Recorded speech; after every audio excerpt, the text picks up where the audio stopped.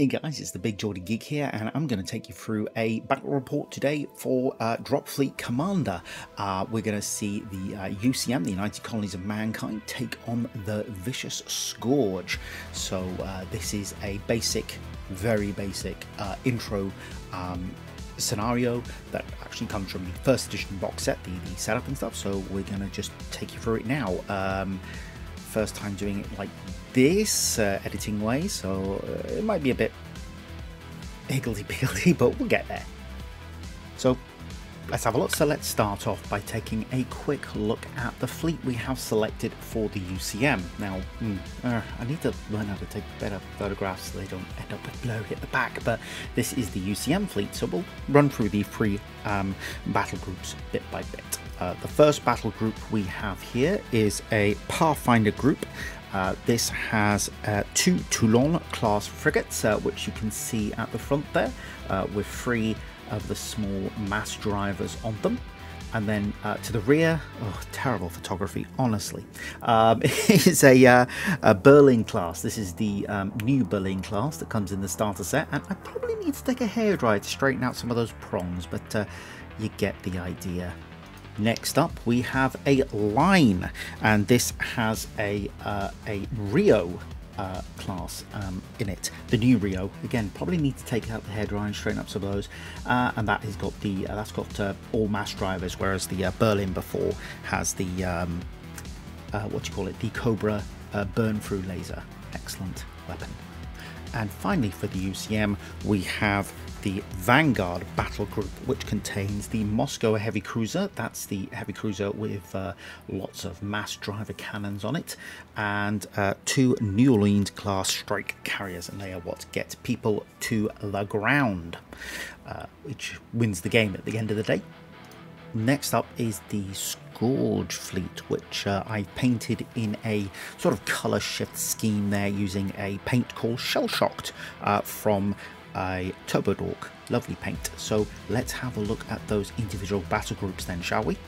And we're going to start actually with the Vanguard, so sort of in a reverse order this time. We've got, we've got a Shenlong class heavy cruiser and a Gargoyle, pair of Gargoyle class strike cruisers. Again, these are the equivalent of New, New Orleans, get the troops on the ground. You know, I really need to take a photography class. Oh, God. And next up, we have a Pathfinder group with an Ifrit class cruiser uh, the back there and a pair of Harpy class frigates. So uh, they're going to be lots of fun. And then finally, we have a lone Wyvern class cruiser in a, a uh, line uh, battle group.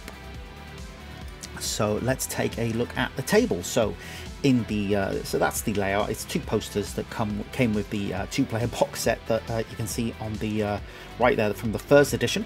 Um, you sort of see the edge of it there.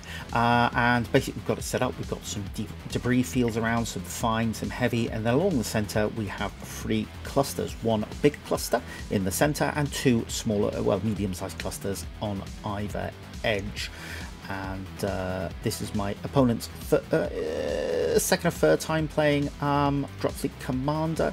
Uh, they weren't comfortable being on camera, so take that for what it is. Uh, but that was basically the layout we've got there.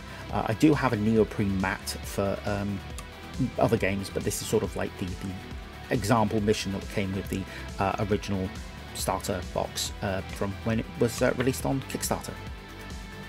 Now, as you know, I don't go massively in depth on mechanics, I'm more about the whole narrative aspect of the game, but uh, this is basically how you decide who to. Basically, the game so the ship's armor only gets one dice because there's only one normal hit. It cannot stop the normal dice. The Shenlong's armor is a 4 plus to stop the normal roll, and it does roll a 4. Now you might be asking why can't I see this wonderful beautiful wyvern and the problem is that um, I stupidly actually forgot to take a picture here so I'm an idiot. Anyway, you've got the Moscow which activated next uh, the New Orleans and the Moscow move towards the central cluster with the New Orleans actually dropping a, low, a, a, an orbital layer into low orbit. Now they need to get to atmospheric in order to drop troops, and you win this game by winning the ground war. So that's the important thing. It's Dropfleet Commander, tech another ship. So, uh, for example, example, if it's six inches, you'll scan. That's how far you can scan, and your and your weapons are accurate in that distance. But as well as that, you have signature. So if a ship signature is three inches, it and uh, uh it basically says that uh, for three inches around a three inch bubble around that ship, it's vulnerable to being it's vulnerable to being detected because it's giving off a signal. Now, when you do certain things, you get spikes uh, and and they can add distance onto your uh, um, scan rate, onto your signature, as it were. So this signature increases with a minor and a major spike. So basically, means your ship becomes more detectable. Now, if the scan range and the signature range collide, that means they basically um, you can be hit. So it's not a straight case of a simple range, you've also got to be aware because you can do things like go onto silent running, which reduces your spike uh, um, and things like that. So everything you do, if it's unusual, can result in a spike. Uh, standard and stuff will will not result in spikes. So um, in this case, basically the the there's three inch there's a three inch scan and there's a uh, sorry a three inch signal signal um, and a a six inch scan so they don't actually meet because the uh, unfortunately the wyvern is 15 inches away and he basically mismeasured uh, the next move for the UCM player, that's me by the way, um, is to open fire on the Shenlong with its linked mass drivers. Uh, the UF uh, 4200s, uh, basic, basically we're, we're, shooting here. Uh, I, we, we, probably got a few of these rules wrong, knowing our luck, but we tried our best. Uh, so the UF 4200s score 3 hits, and the UF 6400s get 2 critical hits, which is fantastic for me. However, with its point defenses, the Shenlong does stop one critical hit, and with armor stops two normal hits, making it takes two, it takes two whole points basically. So, uh, yay! Now, for the next activation, um, well, actually, um, both sides have the same strategy rating. Now, if in a game where you have an admiral on board one of the vessels, you would normally add their um, their, their sort of value to your strategy ratings, and whoever wins uh, wins that one. Um, but in this case, because we've got no admirals, we're having to roll off, and the UCM win and decide they are going to go first. So, moving the Pathfinder group in, the UCM fire their Toulons first at the Shenlong, but only score a single critical hit, uh, which the Shenlong's point defences manage to resist. Uh, the Berlin then fires its Cobra heavy lazy laser at the Shenlong, uh, hitting with one shot. Now, burn. Now, this weapon has what we call the burn through rule, and basically that means is for every successful shot, uh, it gets another. Uh, it gets another attack until it gets to a maximum. In the case of the Cobra Heavy Lazy on the Berlin, it's six plus maximum. It, it gets two shots, it can have six maximum hits. In this case, we get one hit and we get one critical, um, but we fell on the roll, roll third dice, so that um, stops. Now, of course, the uh, um, burn through laser also gives the uh, ship a minus spike because it's a big, heavy uh, laser that you know is very easily seen out in space. Uh, however, the point defenses of the Shenlong resist the critical hit and its armor stops the normal hit, so it doesn't take any further uh, damage there. Uh, the Scourge then move their Pathfinder group forward uh, on standard orders. One Harpy has to move through a dense debris field. Uh, this results in a hit, but its armor does actually stop it. And the Harpies then choose to move into low orbit. Um, wasn't quite sure why, but I guess he's going to try and take on the uh, New Orleans, which he does uh, he decides he's going to attack uh, my New Orleans, the uh, key thing I really need there. Uh, so they fire um, their uh, Oculus beams. I wasn't quite sure why, but Oculus beams went for the Oculus beams rather than the uh, um, rather than anything else. Fair enough. um, and he scores one hit.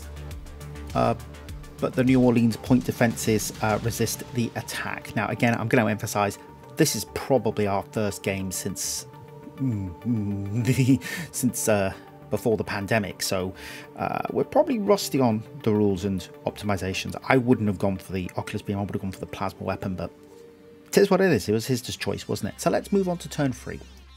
So turn 3 sees the Scourge win the first activation, going first with their Pathfinder on station keeping, and that gets them a minor spike, which makes them easier to hit. Uh, the Ifrit uh, then fires its Furnace Cannon at the Rio, uh, which scores uh, two hits, uh, and a further two with Burn Through, one of which is a critical.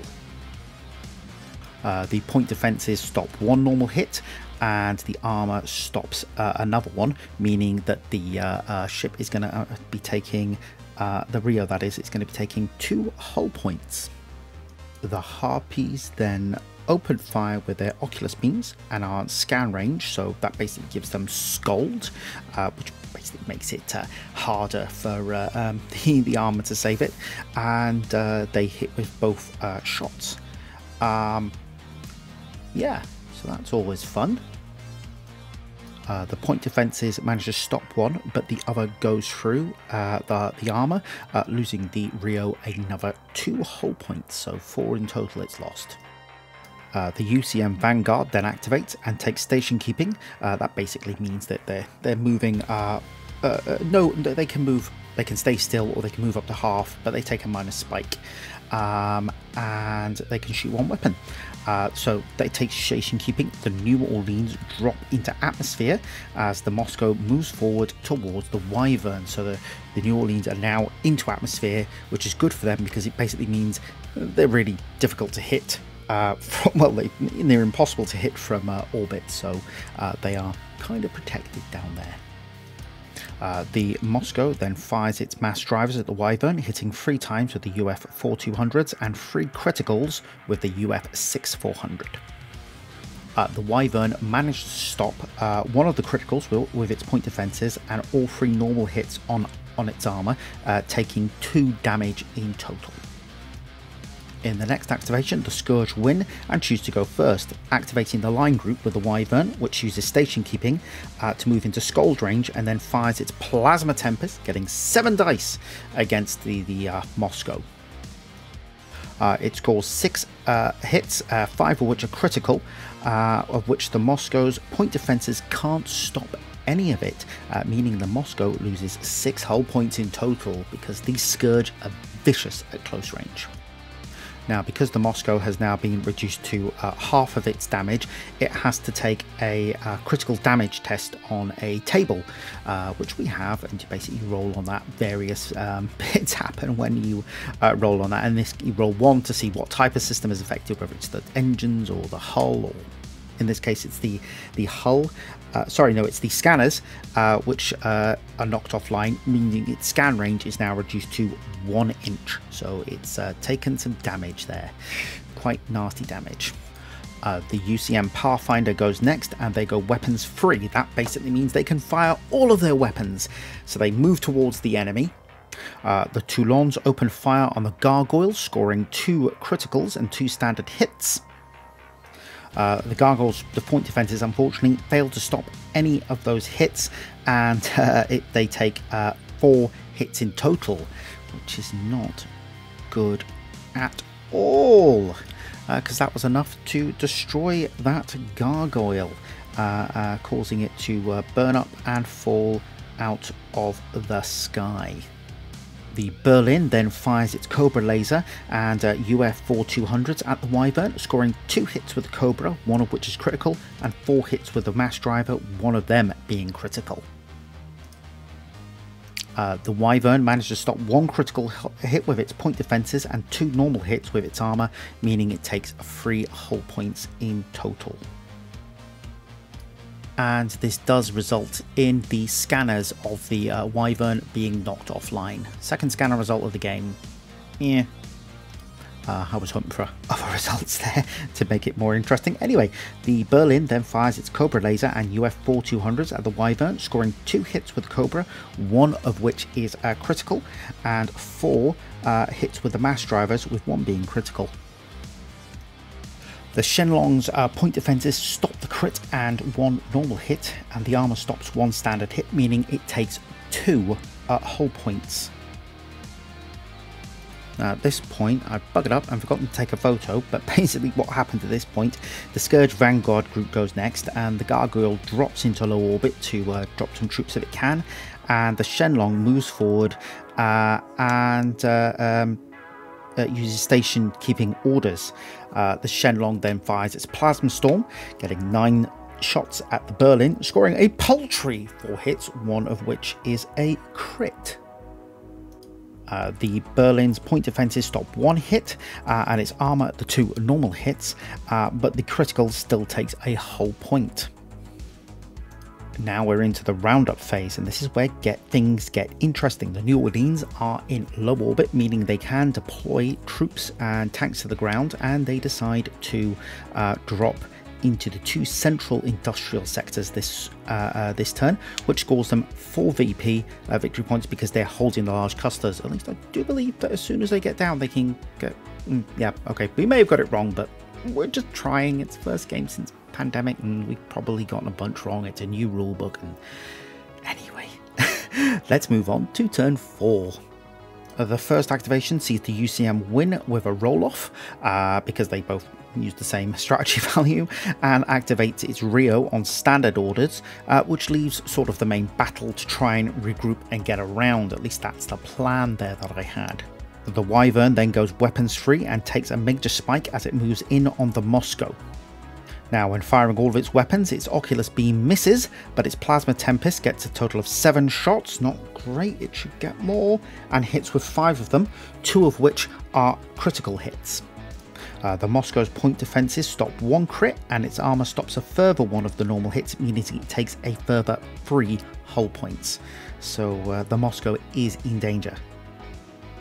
In the next activation, the UCM go first with their Pathfinder and elect to order station keeping, with the Toulons and Berlin shifting their aim to the Shin Shenlong. Uh, the Toulons fire their mass drivers at the Shenlong and hit it with four, uh, two of those being criticals. Uh, the Shenlong stops one crit and a normal hit with its point defenses, and its armor stops another normal hit, but it suffers crippling damage. Now its hull is on half hull points. Uh, sadly for the uh, Shenlong, this means its armor is cracked, losing it another two hull points in the process. Ooh, not great. Uh, the Berlin then fires with a Cobra laser and scores four hits uh, with burn through, and two of those are crits. Uh, the Shenlong manages to stop one hit with its uh, point defenses, but the other normal uh, hit goes through and the armor uh, uh, through the armor, losing it three more hull points and leaving on just one hull point left. The Shenlong and its gargoyles are activated next, with station keeping being ordered. the gargoyle drops into atmosphere while the Shenlong moves towards the Moscow. Uh, the Shenlong opens fire on the Moscow with a plasma storm, getting 7 shots, landing 5 crits and 1 normal hit. Ooh. Uh, the Moscow's armor stops the normal shot, but the crits are enough to take it out. Now, this is the point where we would roll for uh, what happens, and I was kind of hoping that my ship might blow up in a way that uh, would take out the Shenlong, because there's only got one hull point left, but I just rolled a result for basically dropping into atmosphere and breaking up not really that interesting, sadly, and not enough to, and didn't do anything to hurt the Shenlong. Ugh, really wanted it to do something like that. Uh, next, the uh, Scourge go uh, with their uh, Pathfinder, and they decide to take up standard orders, and they're sort of doing what my uh, uh, my ship was doing, and sort of manoeuvring around the battle um, to try and get a better better look on things. Uh, the UCM activate next, uh, but the New Orleans stay at station keeping so they can stay uh, right above where they want to be. Now that's good for them because they just they they basically to, to uh, drop. They decide that in, the roundup they're going to be dropping another pair of uh, uh, bits and bobs, and they decide they're going to drop some armor, which is always fun. So they've got two an infantry squad on each industrial sector and an armor squad, and the Scourge deploy an infantry squad. So they're late coming into this game because they did that whole rushing forward on max thrust and not dropping down into orbit uh, uh, uh, down orbital layers as quickly as possible to try and get down into atmosphere. Uh, they uh, were delayed quite a lot so they're going to be damage they're suffering. So the ucm score another four victory points leaving them on eight to the scourge's zero So for the first activation of turn 5, uh, the UCM activate their Rio, uh, which uh, makes a course change that allows it to make uh, two turns. Uh, so it starts to approach the main core, main core of the battle over above the central cluster there from the other side, uh, which is a plan, I guess, I had. Uh, the Scourge Vanguard is activated next, and they use station keeping with the Gargoyle standing still and the Shenlong moving to attack the Berlin. Uh, the Shenlong fires on the Berlin with its Plasma Storm. Five shots, lands two crits and a normal hit. Uh, the Berlin's point defences uh, unfortunately cannot stop anything, nor can its armour, so it takes three hull points. Uh, the next activation sees the Wyvern go and use station keeping to move towards the Berlin, getting eight shots with its uh, uh, plasma there. only three hit, none of which are criticals, sadly. Uh, but the point defences, luckily, managed to stop all of those hits.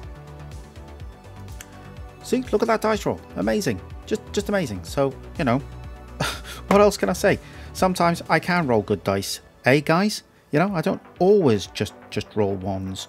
Um, so, yeah, brilliant on my part. Uh, the Berlin and the Toulons issue station keeping and move to attack the Wyvern and the Shenlong. Uh, the Toulons fire at the Wyvern and score one hit, but that's stopped by the uh, Wyvern's uh, point defences. Uh, the Berlin then uses its Cobra laser to attack the Shenlong at point blank range, scoring all six possible hits with burn through, half of which are crits. Uh, the point defences stop two of the crits, and the armour stops two of the normal hits, but it only had one whole point left and loses two. And the roll for what happens to it is not exciting again, just like with my Moscow, it just silently burns in the void in the atmosphere and yeah, nothing. So didn't do anything to knock out my ships. Good for me, but yeah, boring in terms of the, uh, well, not boring, but just not as eventful because we just didn't have the exciting dice rolls for that kind of stuff. Because it's always fun when that happens, especially things like radiation bursts.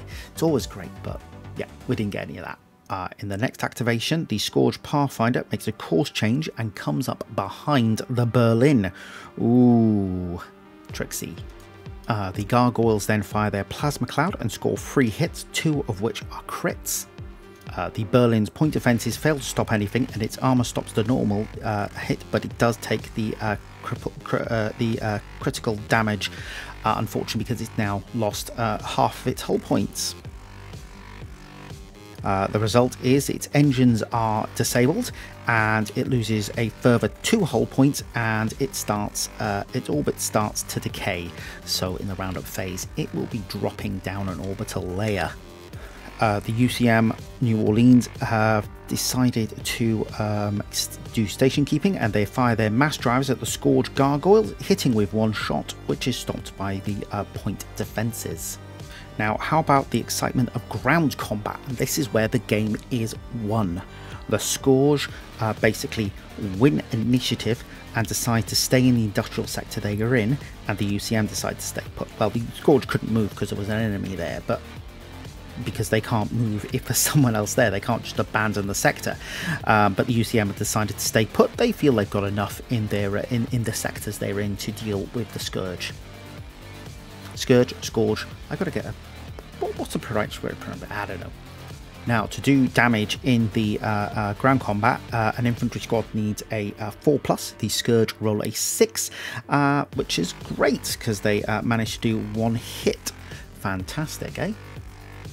However, the UCM also have an army unit which gives them more hits and they get four 4 pluses. sorry, three 4 pluses, hitting them three times. So yeah, that's uh, that that's gonna hurt because they've only got one infantry squad there. Uh, so basically, the Scourge's hit is allocated to UCM infantry, the scoring one of the infantry squad. Uh, the UCM fail to save because they need a uh, 5 plus as a, as a save on a infantry unit, but they only get a 4 plus. And the uh, Scourge obviously failed. they failed to save their infantry. They had three saves to take.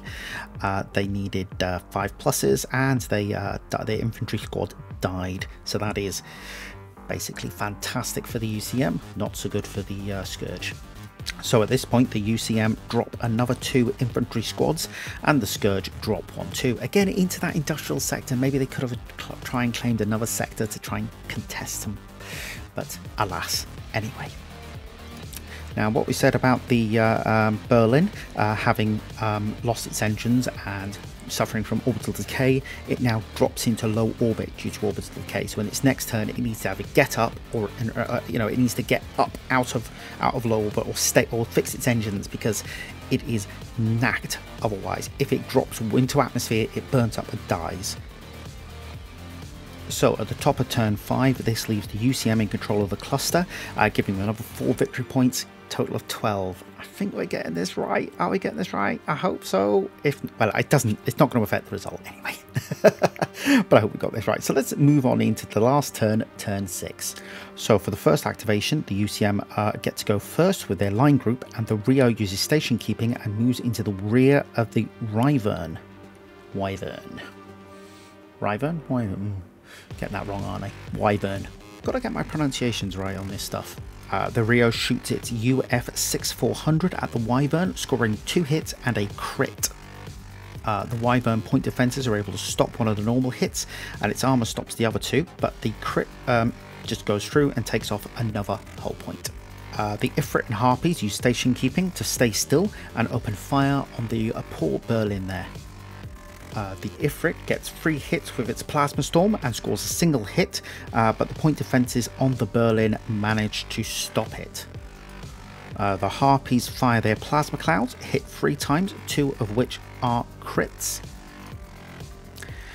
And the point defenses stop the normal hit, but the uh, crits go through and cause the Berlin to be destroyed. Um, again, boring result, just falls apart in atmosphere. Seriously, we didn't get any of the fun results uh, on some of the tables this, this, this game. It would have been nice to get some of them. Uh, the Toulons get to activate next with their uh, uh, the, the, UCM get to activate next with their Toulons, I should say, and choose to use station keeping. And the Toulons fire their mass drivers at the Ifrit, getting three hits and one crit. However, the Ifrit's uh, point defenses stop the crit and two normal hits, but the last normal hit breaches the armor. Uh, sadly, um, well, for the Scourge player, not for me. Uh, the gargoyles activate next and station keep, uh, gargoyle I should say, not gargoyles, there's just one of them, and fires at a New Orleans, hitting it once with a crit. Uh, the New Orleans uh, point defenses fail to stop it, and the New Orleans unfortunately loses a hull point. Uh, next, the Wyvern takes a max thrust order to take it away from combat, moving through a fine debris field, uh, but doesn't take any further damage. So he basically decided he wanted out of the battle at this point. Uh, the uh, New Orleans then fire at the Gargoyle, hitting with one crit, but that gets stopped by the uh, Gargoyle's point defenses. So moving into Roundup, in ground combat, the UCM win initiative and move an army unit into the cluster with the Scourge infantry, giving them two army units and one infantry unit in that uh, cluster. So yeah, the Scourge are in trouble. Uh, in combat, the UCM lose their infantry squad in that cluster, but the Scourge also lose theirs. Sadly, but not really for me.